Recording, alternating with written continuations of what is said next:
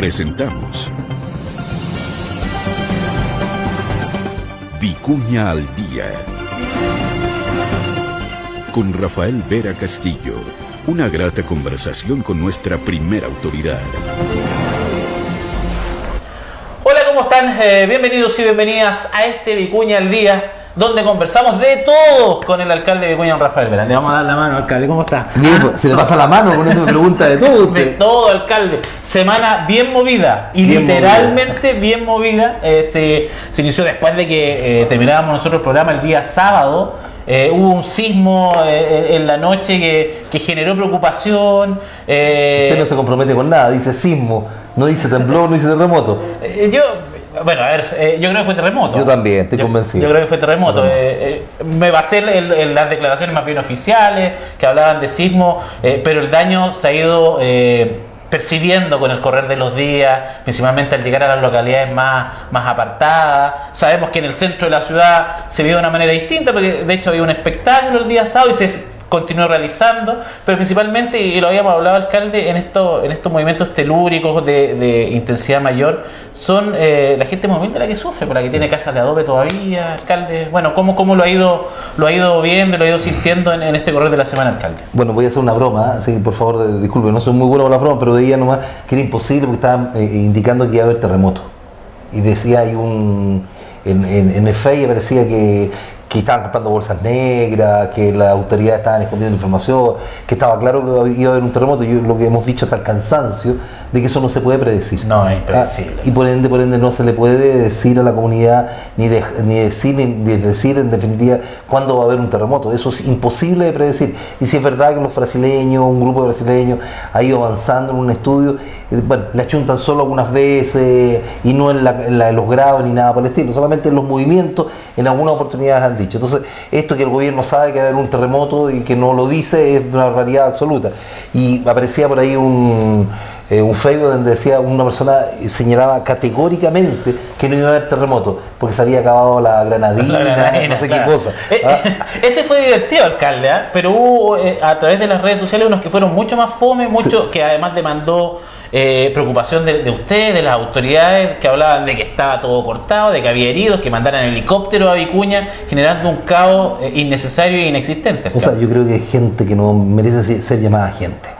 O sea, perfectamente a un padre, una madre se puede darle un infarto al corazón pensando que su hijo justamente a esa hora, su hija o un familiar viene desde pasando por el Puclaro y que no tiene conexión porque la, la telefonía celular no funciona en ese momento y que efectivamente la desesperación puede hacer pasar cualquier cosa.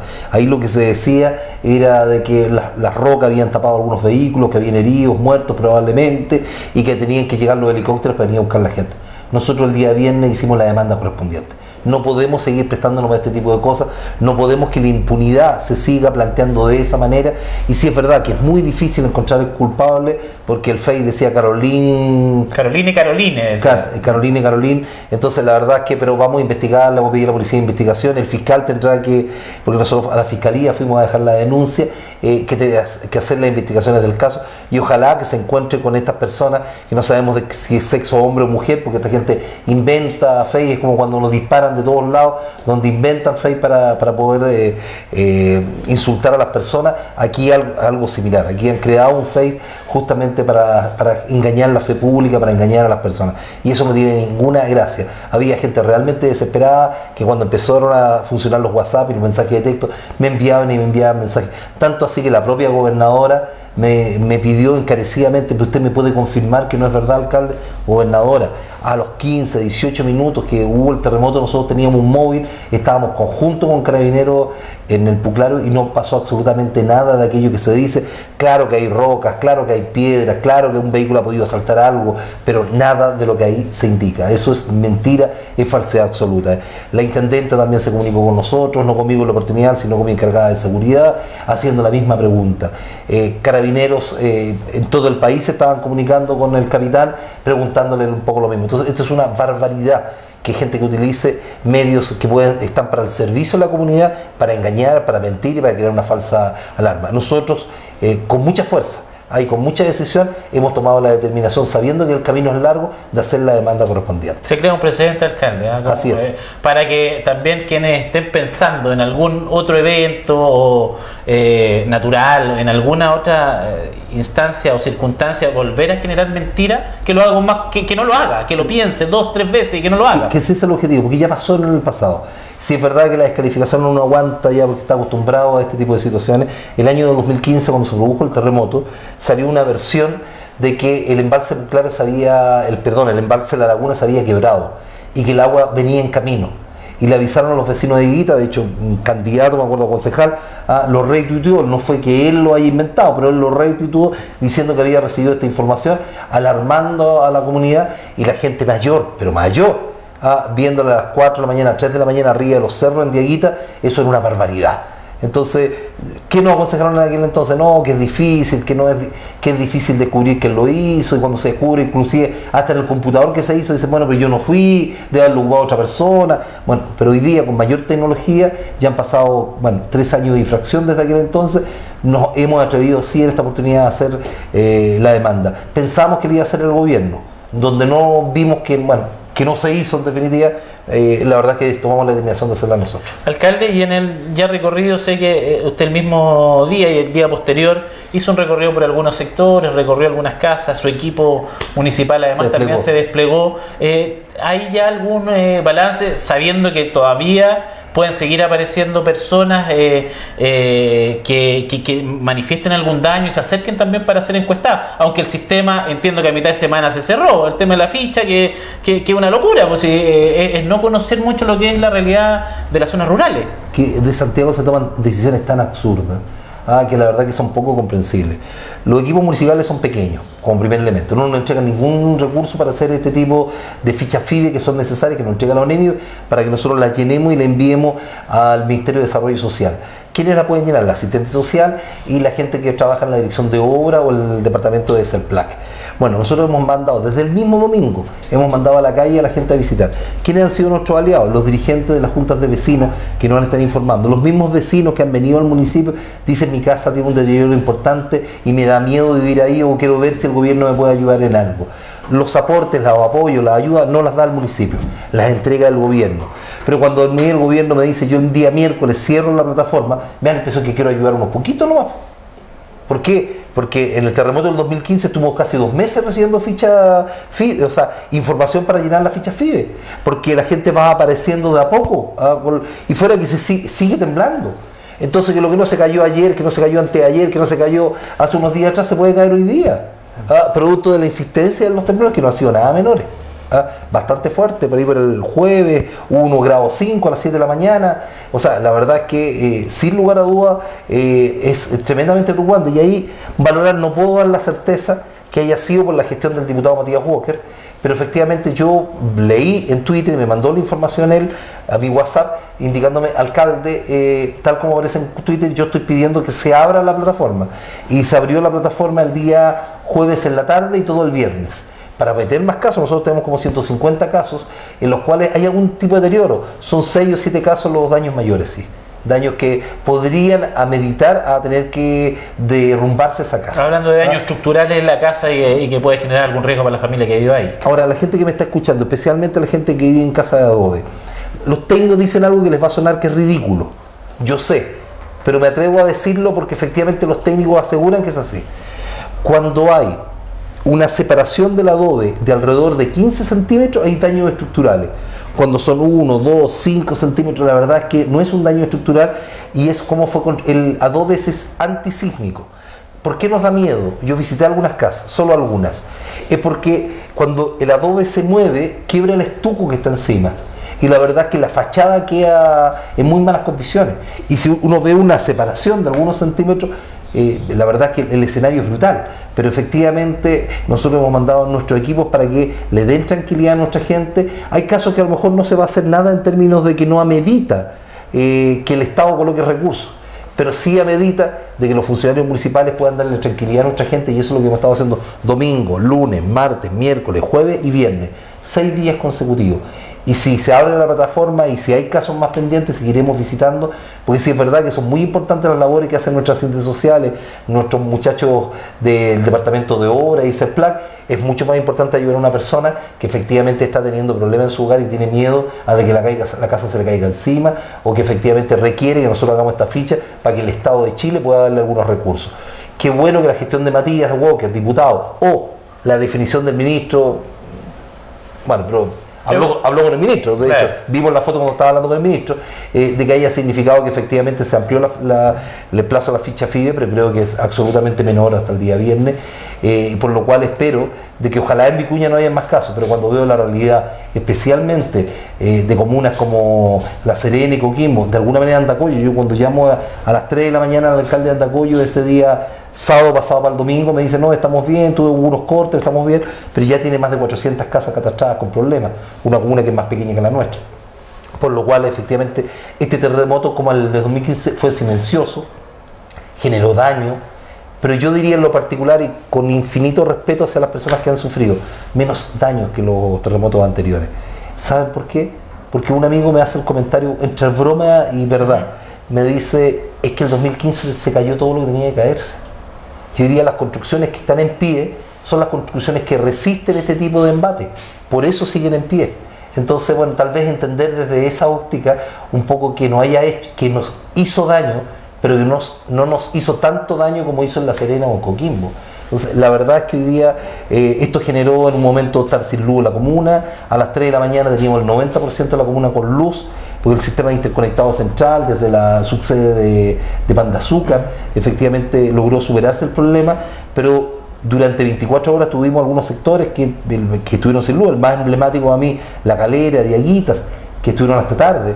Me recuerdo, y lo dije en un programa radial, eh, porque aparecían ahí que no, que yo hice tal cosa, que hablé con tal Ceremi, que, que lo iba a resolver de tal manera. Los Ceremi, ni siquiera el intendente, no son quienes resuelven estas cosas los temas de luz los recibe una, los soluciona una sola institución, CGE, ex-CONAF. Y este alcalde estuvo comunicado todo el día, todo el día, con CGE para buscar soluciones. Y nos costó traerlo a Dieguitas, ¿por qué? Porque tenían que venir con el equipo, con una cuadrilla, a revisar metro a metro, centímetro a centímetro. ¿Dónde tenían la falla? ¿Dónde tenían la falla? Y llegaron a las 7 de la tarde y a las 9 de la, de la noche, cuando los llamo, me indican que llevan el 60% de la revisión y que no han encontrado nada.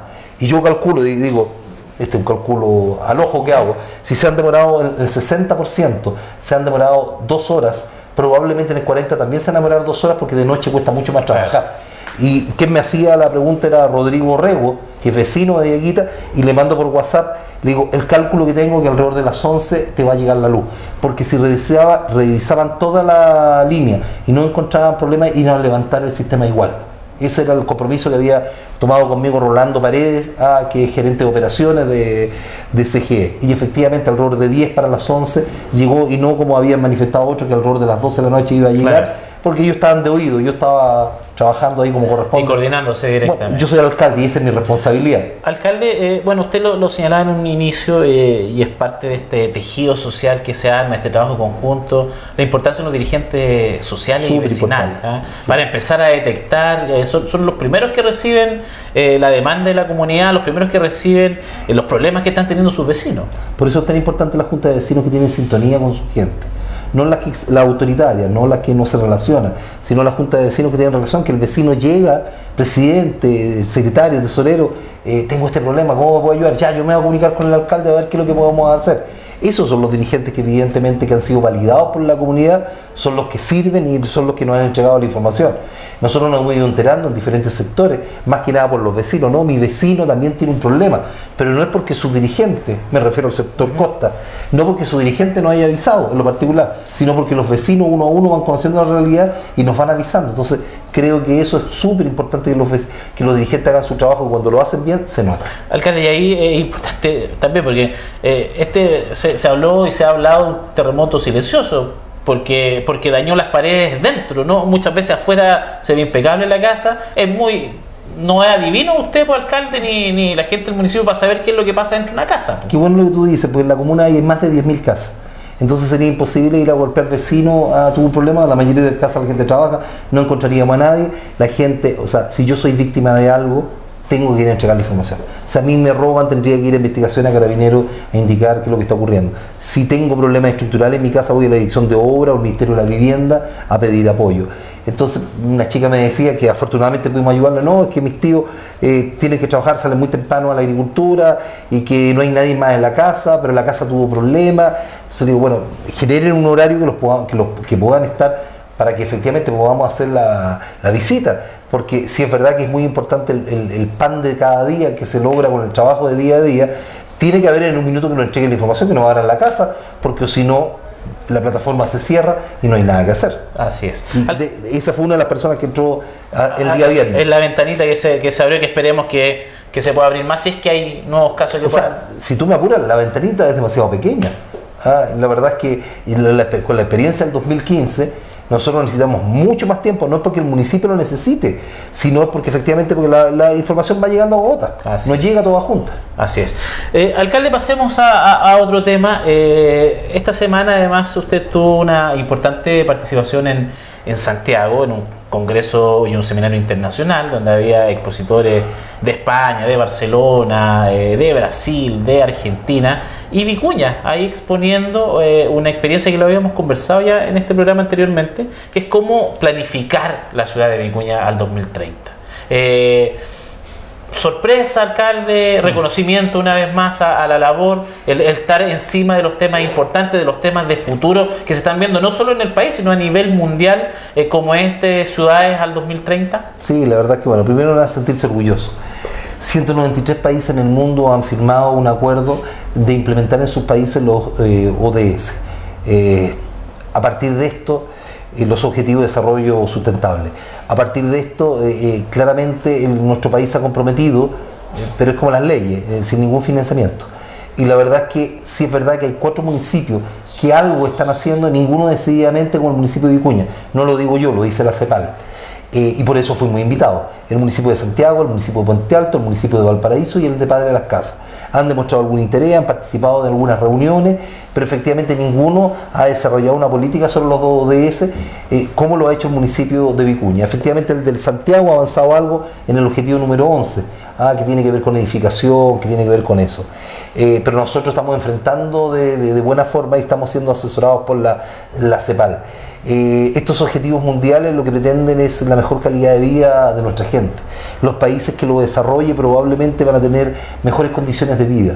Y es por eso que nosotros desde este humilde lugar, desde este rincón del país, estamos trabajando en ello y nos tocó estar en la testera con el representante de Barcelona, con el representante de Buenos Aires, del gobierno de Buenos Aires, no de la comuna, sino del gobierno de Buenos Aires, bueno, representantes de Brasil, de Perú, de Bolivia, entre otros países que estuvieron, un país africano también que estaba presente, y la verdad es que fue tremendamente importante, y para uno que, bueno, que viene, viene de una familia de mucho esfuerzo, eh, poder eh, instalarse en el edificio de la ONU, con todo lo que significa el edificio de la ONU para Chile y para el mundo, y poder estar no como espectador, ah, sino estar como relator a estar contando la experiencia y después ser aplaudido y ser saludado eh, por representantes internacionales y chilenos, la verdad que es un tremendo honor, pero, pero esto no es para Rafael Vera, esto es para Vicuña.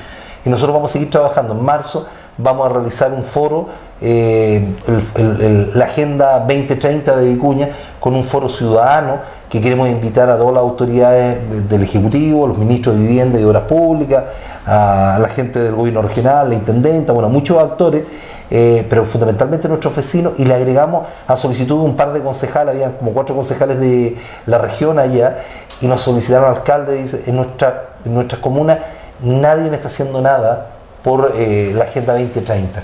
Eh, ¿Usted puede invitarnos? Le dijimos, ok, nosotros vamos a invitar a todos los concejales de la región, a todos, para que vean el trabajo que está haciendo Vicuña y ojalá ese ejemplo de trabajo lo puedan implementar también en sus municipios. Así que, bueno, ellos apelaron, me dijo usted, el presidente de la asociación. Sí, le dijo, porque yo mando la información y no siempre les llega, por eso los voy a invitar a ustedes. Alcalde, bueno, eh, hay una parte que usted habló y dijo, y si quieren, grave, ¿no? Yo, yo lo grabé, ah, dijo, yo tengo dos cosas seguras para el 2030, que Vicuña no va a ser la misma comuna que, hoy día está y que yo no voy a seguir siendo alcalde. Así es. Entonces esto tiene una mirada mucho más allá de lo que significa un periodo electoral, una mirada no, no, no pensando en una elección, sino una mirada estratégica para un desarrollo más armónico de la comuna, alcalde. Qué, bueno que tú lo hayas mencionado, la verdad, uno no puede ser tan mezquino. Eh, la idea de planificar, los arquitectos lo saben, debe ser una de las instancias más bellas que tiene el ser humano. Eh, nosotros no podemos planificar nuestra vida, pero podemos planificar nuestras acciones, lo que vamos a hacer. Y planificar una comuna es maravilloso. Y por cierto, yo no voy a estar el 2030 como alcalde de, la comuna, eso es imposible. Tiene que haber paso para nuestras generaciones. Pero lo claro acá es que efectivamente no podemos detenernos en decir me voy a programar para cuatro o seis años más, sino efectivamente voy a pensar en el futuro de la comuna. Y por eso estamos trabajando por la Agenda 2030 de Vicuña y la verdad es que el reconocimiento y la alegría que, que representar a Vicuña en un órgano mundial, eh, ya haber firmado un convenio de colaboración con la CEPAL, ya eso era total. ¿Ah? Hoy día estar en el edificio de la ONU y estar con máxima unidad, eh, autoridades mundiales, estaba Sara ahí, que es la representante de todos los municipios del mundo que están trabajando en esta instancia. Bueno, fue todo perfecto. Alcalde, bueno, pasemos y, volvamos a lo que es este verano en, la comuna. Eh, algo generó el temblor. Algunos dicen que, que, algunos cancelaron reservas, otros dicen que los argentinos que estaban en La Serena, como se dieron cuenta que no había pasado mucho para acá, se vinieron para acá. Eh, pero el verano sigue, sigue en marcha en la comuna y hay actividades también que está generando el municipio, alcalde, con el carnaval El Quino. Eh, hecho histórico, me dicen que no había llegado nunca un show aguanta, por ejemplo y llegó un show aguanta y hay un show que ha ido recorriendo distintos sectores de la comuna, alcalde. Bueno, nos sentimos orgullosos, es verdad. Eh, el, pensar que eh, un terremoto no va a tener incidencia en el turismo eh, es equivocado. Eh, de hecho, cuando eh, hay alcaldes como mi amigo, alcalde de La Serena, Roberto Yaco, eh, solicita zona de catástrofe, que el presidente le dijo que no, también genera un poco decir, bueno, zona de catástrofe, aquí nos vamos a meter en una catástrofe. ¿Ah? y yo me quedé expectante, ¿por qué razón? Porque son las autoridades de gobierno las que nos tienen que decir qué financiamiento nos van a dar y qué herramientas nos están pidiendo para dar ese financiamiento. En este caso, la ficha FIDE, y según nosotros entregamos la ficha FIDE, ellos entregan recursos a la gente. Esperamos que lo hagan pero en lo particular, eh, sin lugar a dudas, este fue un terremoto duro que afecta también al turismo, pero donde nosotros hemos tenido esta actitud eh, de por un lado, recorrer las calles, de estar en las casas, de, enfrentar el problema y por otro lado, de seguir adelante con nuestras actividades, evidentemente yo creo que la imagen que hemos dado es que aquí hubo menos daño. Y por eso la gente, sí es verdad que no mayoritariamente, pero no ha disminuido tan brutalmente como ha sido en otros lugares de la comuna. Como tú bien lo decías, el día sábado cuando se realizó el terremoto estábamos en un show. Paramos 20, 25 minutos del show y después seguimos el show. Alguien me dirá que estamos locos. De hecho, bueno, el comisario me preguntó, suspende el show. Le dije, momentito, comisario, esperemos para ver cómo se dan las cosas informamos, recibimos información, le avisamos a la gente, la gente estaba ahí, no porque no quisiera irse a su casa, porque yo le indiqué, en su casa no hay luz, no hay nada, y aquí por los equipos electrógenos que tiene el municipio, efectivamente la plaza está iluminada, el sector del, escenario. Quédense aquí y esperemos. Y después de 20, 25 minutos, darle un, paseo de información de lo que estaba ocurriendo en el país, la gran mayoría vía WhatsApp o mensaje de texto se había comunicado con su familia, se quedaron una hora más ahí y, y apreciaron el espectáculo. Y si esto fuera poco, el día domingo, desde las 5 de la tarde hasta las 12 y media de la noche. Los reté a los chiquillos, sí. Porque estuvieron hasta demasiado tarde, el día domingo, no es para estar tan tarde. No es para estar tan tarde. Son jóvenes, alcalde. Ah. Usted no fue joven alcalde. Ah, dígame que no se queda hasta tarde cuando era joven, pues ve. Bueno, pero ahí en la plaza, no, ahí tocando música hasta tan tarde. Los felicité primero que nada porque creo que hicimos un gran espectáculo para cuentos. Como hace mucho tiempo nos hacía. Y la primera pregunta fue si suspendía el espectáculo porque había habido un terremoto, era las 5 de la tarde al otro día, menos de 24 horas, por ningún motivo, el espectáculo se hace igual.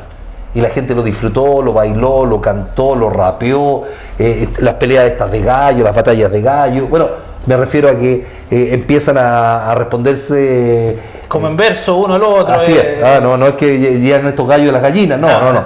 Eso no, esas peleas de gallo. está prohibida, pues, Esas peleas de gallo no, por ningún motivo. Sino en la que los muchachos empiezan a rebatirse uno a otro. Eh, eso, eh, bueno, se realizó, fue maravilloso, vino un par de números nacionales de primer nivel que dejaron muy contentos a nuestros jóvenes, ya habían quedado contentos un sector de ellos con Manuel García, eh, donde lo habían disfrutado, especialmente aquellos más enamorados, habían disfrutado de esa música, y, bueno, y el show del domingo fue maravilloso, y por ahí por el 2 o 3 de febrero tenemos el de la espuma también, que también está destinado a nuestros jóvenes, nuestros jóvenes merecen un esfuerzo. En resumidas cuentas, el turismo efectivamente sigue funcionando en la comuna, bajando un poquito, pero sigue funcionando en la comuna y nosotros hemos querido dar las señales de tranquilidad a nuestra gente.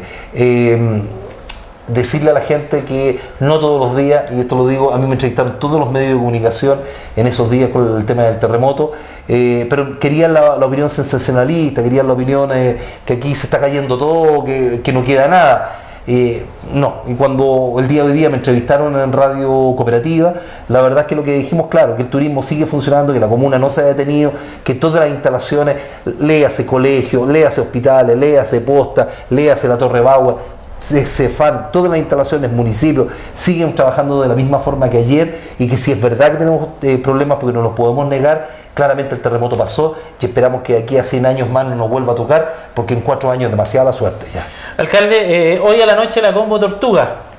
¿Qué le parece? Bueno, muy bueno, muy bueno. O sea, y eso no es para los jóvenes, es para los jóvenes, para, los adultos, para los abuelitos, para todo.